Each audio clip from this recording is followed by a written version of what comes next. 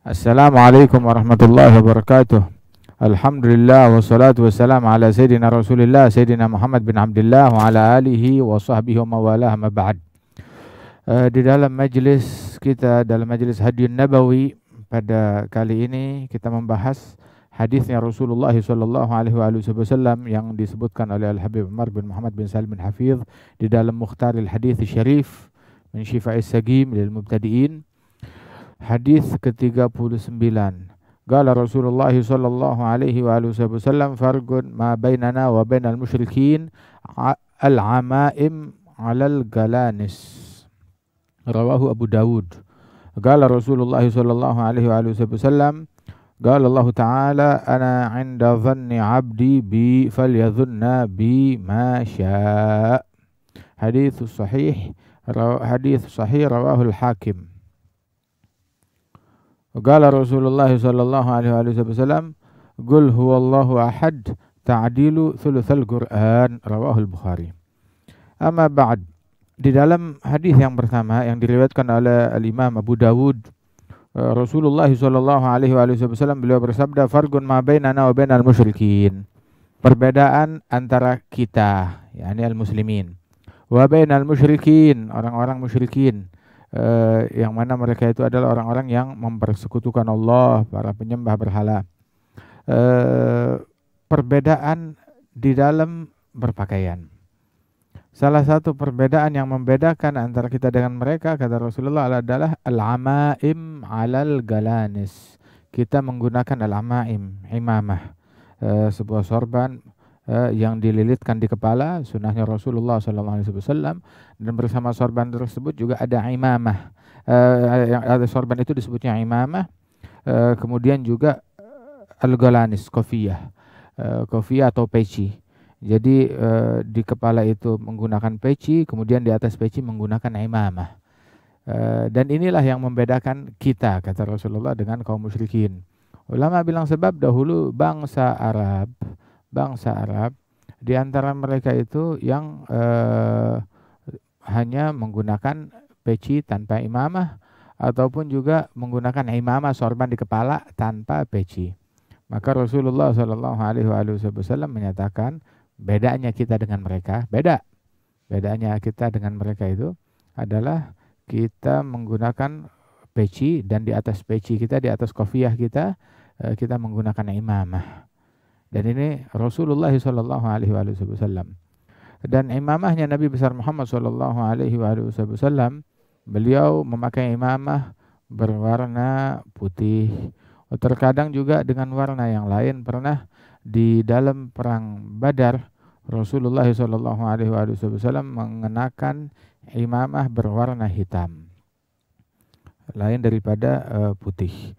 Uh, namun Walaupun Rasulullah SAW memakai imamah yang berwarna lain selain daripada putih, tetapi di hari Jumat Nabi Muhammad tidak menggunakan uh, warna kecuali warna putih di dalam baju beliau, dalam gamis beliau, dalam jubah beliau, kemudian juga di dalam imamah beliau menggunakan uh, bahan berwarna putih.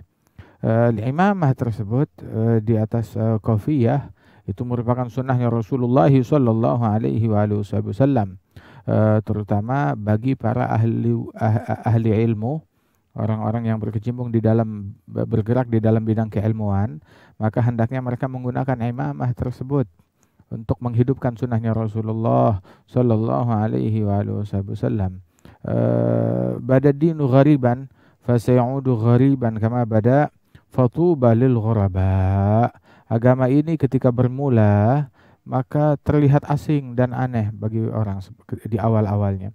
Kemudian makin dikenal, makin difahami, makin dimengerti oleh masyarakat dan kelak di akhir zaman ketika orang mulai melalaikan keilmuan, agama ini akan menjadi asing lagi dan menjadi aneh di mata orang-orang yang tidak mengerti. Dan sungguh beruntung, beruntung tuba, beruntung bagi mereka yang me, dianggap aneh atau asing tersebut atau unik itu. Siapa gerangan mereka? Alladzina yuhyuna sunnati. Ha? Mereka adalah orang-orang yang menghidupkan sunnah-sunnahku. Sabda Rasulullah SAW. Uh, paling tidak hendaknya uh, menggunakan daripada imamah tersebut terutama di dalam acara-acara seperti Jumat ataupun sholat Id dan sholat Jumat menggunakan imamah. Dahulu kita menemukan bahwasanya banyak masjid-masjid di Indonesia, di Malaysia, di Singapura. Zaman dahulu itu itu kalau sudah hari Jumat itu eh, hampir semua yang ada di masjid soft pertama, soft kedua, soft ketiga semuanya menggunakan imamah, pakai sorban di atas kepala mereka menghidupkan sunnahnya Rasulullah Shallallahu Alaihi Wasallam. Naam, eh, penggunaan imamah hari-hari itu uh, mungkin menjadi kebiasaan para ahli ilmu. Akan tetapi orang awam menggunakan daripada imamah tersebut pun juga itu untuk menghidupkan sunnahnya Rasulullah Shallallahu Alaihi Wasallam terutama pada hari Jumat dan hari Raya Id dalam acara-acara besar. Bahkan dahulu itu para salafus salih radhiyallahu anhum ajma'in. Mereka di dalam mendidik anak-anak mereka dengan kitab Bidayatul Hidayah. Dan biasanya mereka tidak memakaikan imamah atau sorban di atas kepala anak-anak mereka, melainkan apabila anak-anak tersebut sudah hafal kitab Bidayatul Hidayah dan mengamalkannya.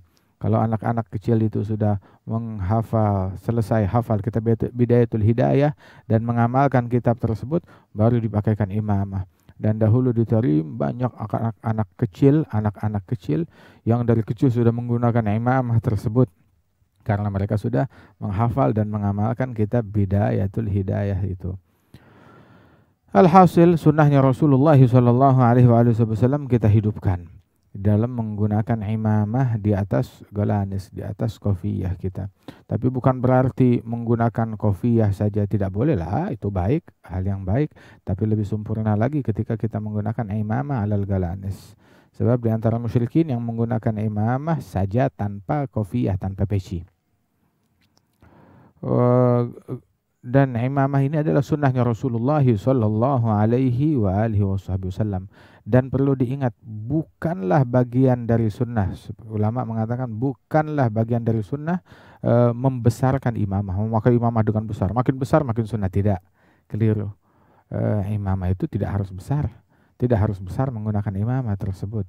E, namun sekedarnya saja Bahkan dahulu diajarkan bahwasanya orang-orang menggunakan imamah itu mereka memakai imamah sepanjang uh, lima zira, lima zira uh, sekitar uh, dua meter atau dua meter setengah, tidak lebih dari itu pengguna, penggunaan imamah tersebut.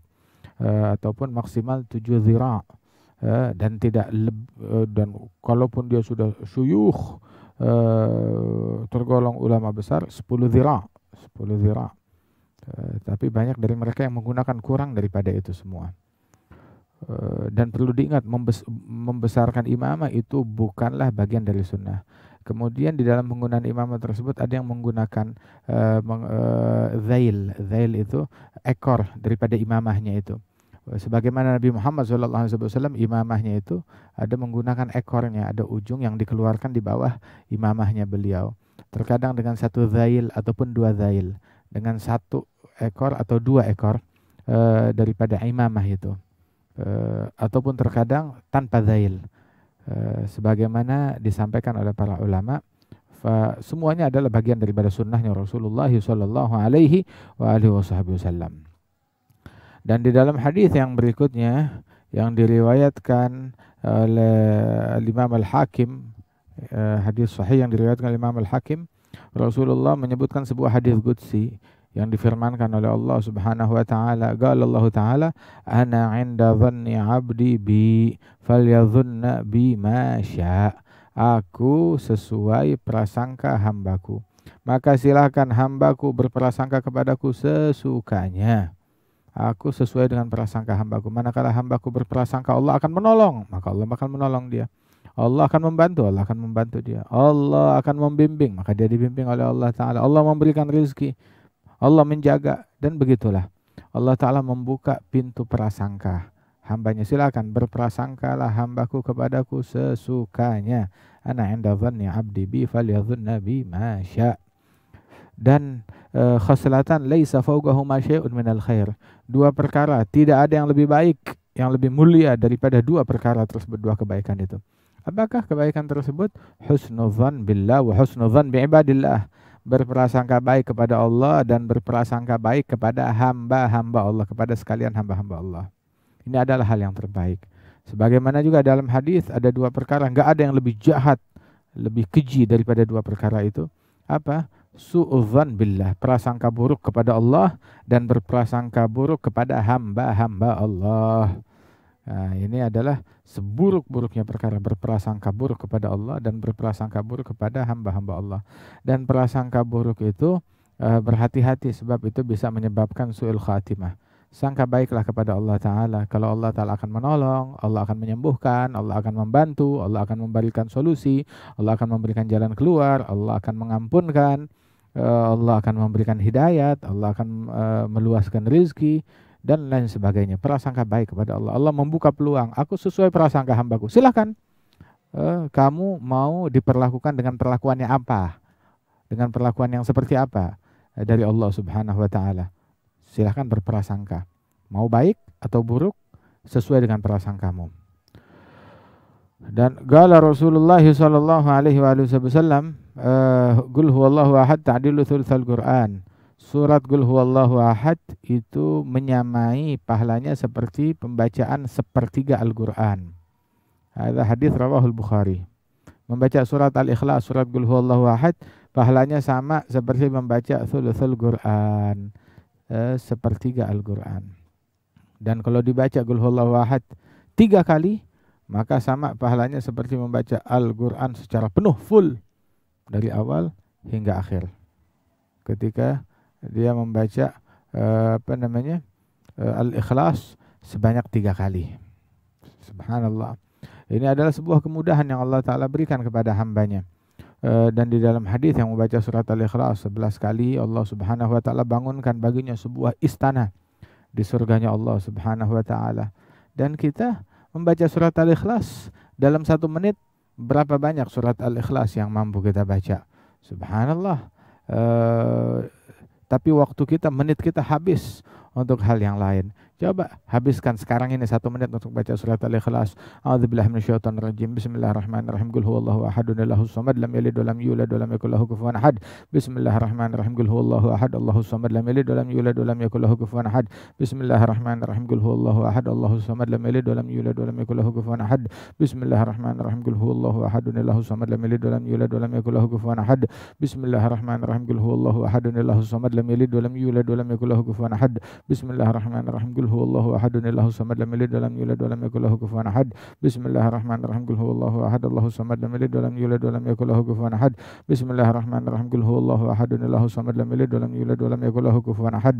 Bismillahirrahmanirrahim. Qul huwallahu ahad Allahu samad lam yalid yulad yakul lahu kufuwan ahad. Bismillahirrahmanirrahim. Qul huwallahu ahad Allahu samad lam yalid yulad yakul lahu kufuwan ahad. Bismillahirrahmanirrahim. Qul huwallahu ahad Allahu samad lam yalid yulad yakul lahu kufuwan ahad. Bismillahirrahmanirrahim. Qul huwallahu samad lam yalid wa lam yulad wa lam yakul lahu kufuwan ahad. Bismillahirrahmanirrahim. Qul huwallahu ahad, Allahu samad, lam yalid wa lam yulad wa lam yakul lahu kufuwan ahad. Masya Allah. Satu menit 13 kali surat Al-Ikhlas yang kita baca. Subhanallah. Tapi menit-menit kita habis untuk media sosial. Eh, menit-menit kita habis untuk hal yang tidak mengandung kebaikan. Andai kan kita isi dalam perjalanan ke office, dalam perjalanan uh, kita langkah kaki yang kita langkahkan kita membaca suratul ikhlas berapa banyak? Masya Allah 12 kali al-ikhlas berarti bagaikan 4 kali hataman Al-Quran. Nah kita baca tadi dalam satu menit uh, uh, 13 kali dari surat al-ikhlas tersebut. Ya Allah Inna ahlul jannah la yatahassarun fil jannah ila ala sa'atin marat alaihim fi dunya la yadhkurullah ta'ala fiha. Para penghuni surga mereka tidak menyesal di dalam surga. Di surga nggak ada penyesalan. Tapi eh, penyesalan penghuni surga itu satu hal. At, mereka menyesali atas berlalunya satu jam di dunia, satu saat di dunia tanpa mereka berzikir kepada Allah Subhanahu wa taala. Dan banyak fadilah-fadilah daripada surat-surat Al-Qur'an lainnya eh, seperti eh, surat Zalzalah yang mana pembacaannya sama seperti membaca setengah Al-Qur'an Kemudian juga yang membaca uh, surat Al-Hakumut Takatsur itu sama seperti membaca seribu ayat daripada Al-Quran. Artinya enam kali dia baca seperti menghatamkan Al-Quran. Uh, dan ayat-ayat yang lain. Yasin itu golbul Quran.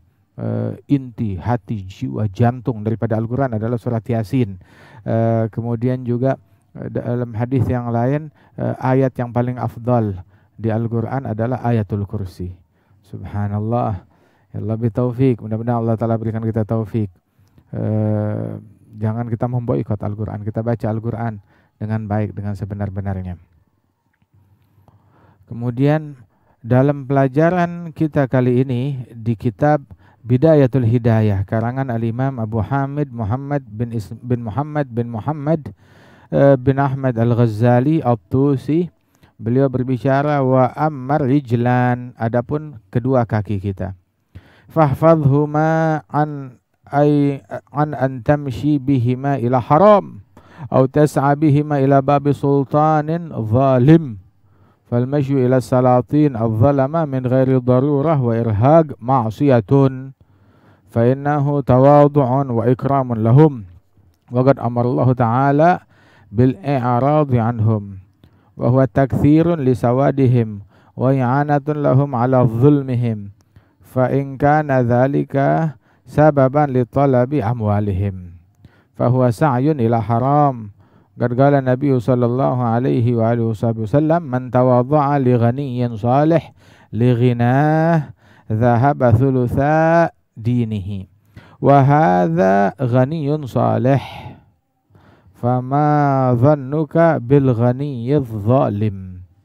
وعلى الجملة فحركاتك وسكناتك بأعضائك نعمة من نعم الله تعالى عليك.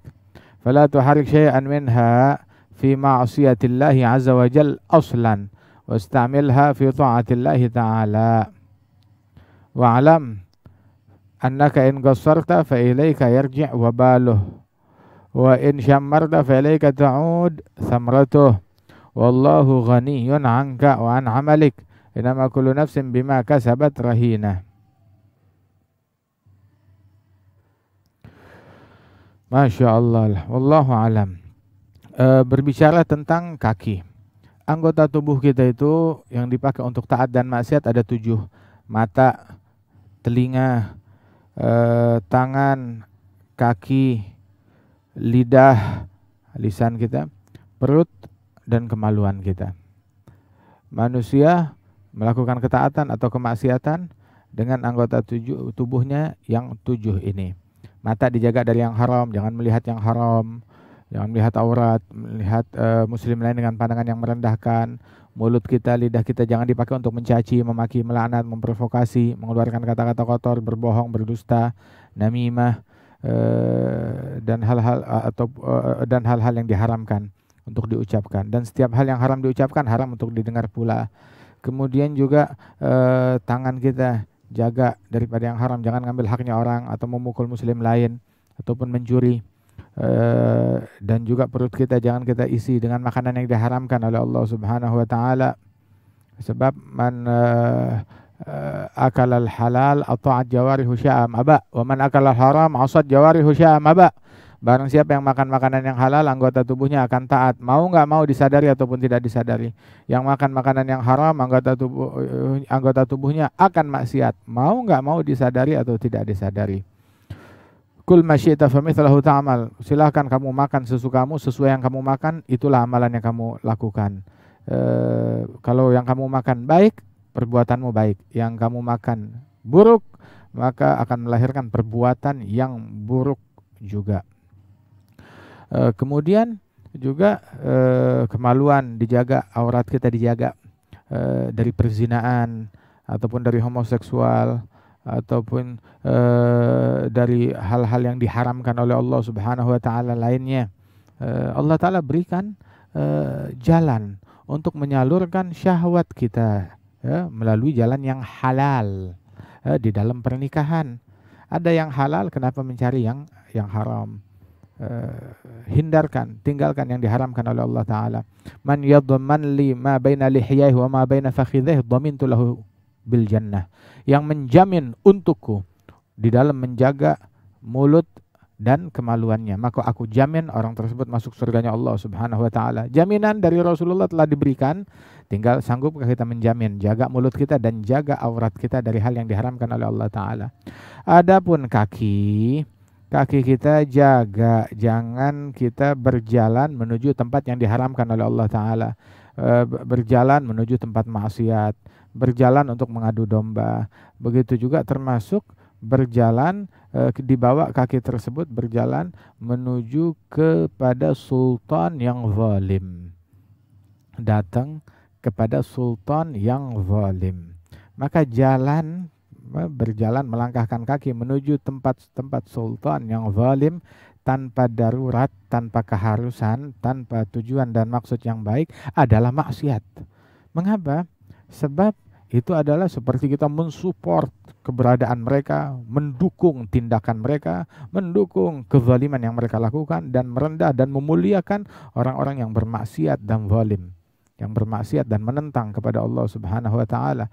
Padahal Allah taala memerintahkan kita untuk berpaling dari orang-orang yang zalim tersebut wala tarkanu ila ladzina zalamu fatamassakumun nar. Jangan kamu uh, uh, merasa nyaman dan tentram uh, untuk dekat kepada orang-orang yang zalim. Saya kalian akan disentuh dan dibakar dalam api neraka. A'rid amman tawalla an dzikri ya an dzikrina berpalinglah dari orang-orang yang ber, yang berpaling dari uh, pendekatan dan zikir dan ingatan kepada Allah Subhanahu wa taala.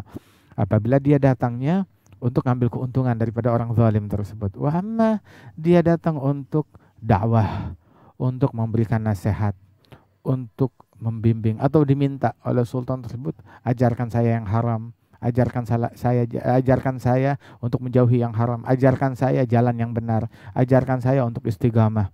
Maka ada dakwah kita ngajak manusia kepada siapa pun, jangankan yang muslim apa pun e, profesi mereka, hatta yang kafir, yang non muslim, Nabi Muhammad SAW datang ke kemahnya kaum musyrikin jamaah haji. Yang pergi haji dari kaum musyrikin zaman dulu orang musyrikin juga mereka pergi haji. Rasulullah menghampiri ke tenda-tenda mereka ke kemah-kemah mereka eh, ke campnya mereka untuk mengenalkan kepada mereka tentang agama Islam. Dan Rasulullah SAW janjian melakukan pertemuan dengan orang-orang musyrikin di dalam uh, di dalam bayatul agabah hingga mereka masuk ke dalam agama Islam, tertarik kepada agama Islam dan membaiat Rasulullah. Bayah agabah yang pertama, bayah agabah yang yang kedua. Sebelum hijrahnya Nabi besar Muhammad Shallallahu alaihi wasallam, Nabi Muhammad mendatangi perkampungannya orang Yahudi, begitu berdakwah kepada mereka, datang ke sana ke sini untuk menyampaikan dakwah. Sebab kita ini ngajak manusia kepada Allah, ngajak semua manusia. Wa ma arsalnaka illa kafatan linnas. Kami mengutus engkau eh, kepada sekalian manusia. Mengutus Nabi Muhammad eh, kepada siapa? Kepada musyrikin, kepada Yahudi, kepada Nasrani, kepada orang-orang lain, kepada semua suku, kepada semua agama, kepada semua bangsa.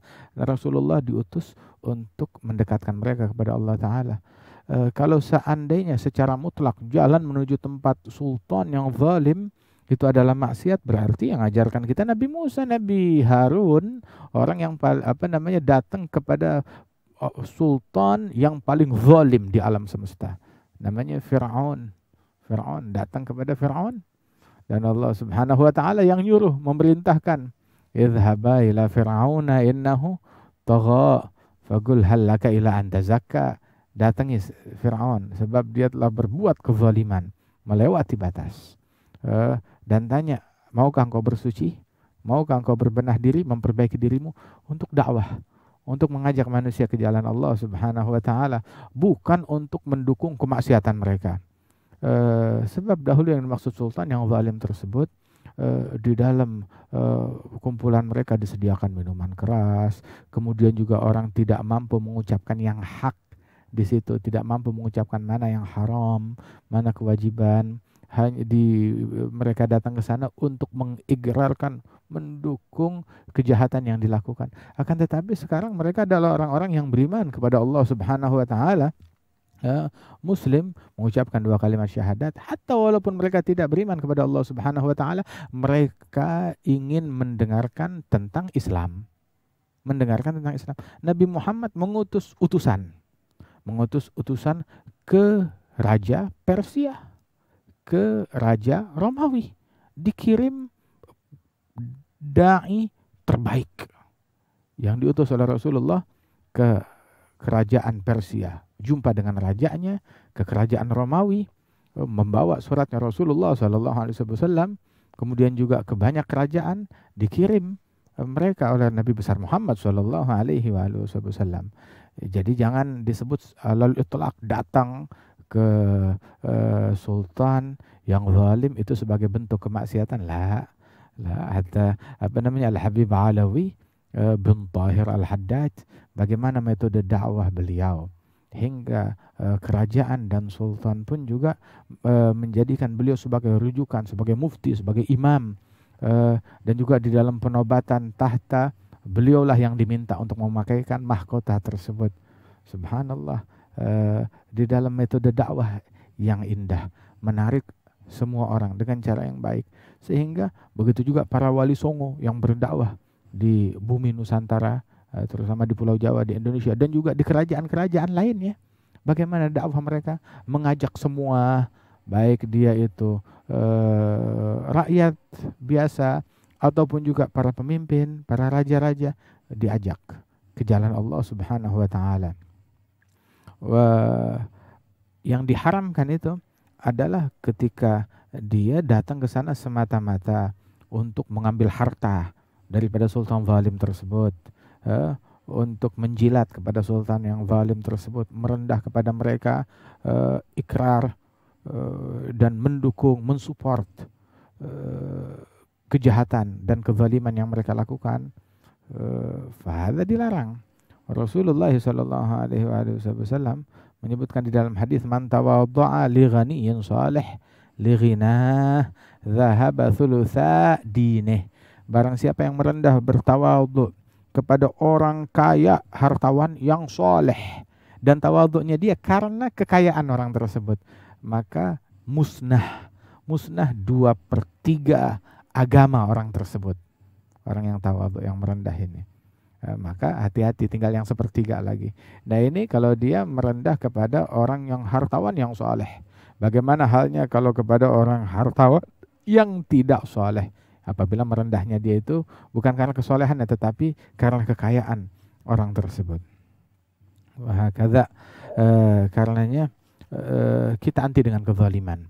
Baik kezaliman itu dilakukan oleh pemimpin ataupun dilakukan kezaliman itu oleh rakyat ataupun dilakukan oleh ulama eh, ataupun dilakukan oleh keluarga kita ataupun anak kita atau kerabat kita sendiri melakukan kezaliman maka kita menolak daripada kezaliman siapa pun yang melakukannya. Kita tidak ridho dengan kezaliman dilakukan oleh siapa pun oleh siapa pun. Baik itu pejabat atau itu rakyat atau itu ustadz eh, siapa pun yang melakukan kezaliman kita menolak dan anti dengan kezaliman tersebut. Dan eh, kita ingin mengevakuasi menyelamatkan setiap manusia. Baik yang taat ataupun yang zalim ataupun yang tukang maksiat kita mau selamatkan mereka. Dari kemaksiatan menuju ketaatan.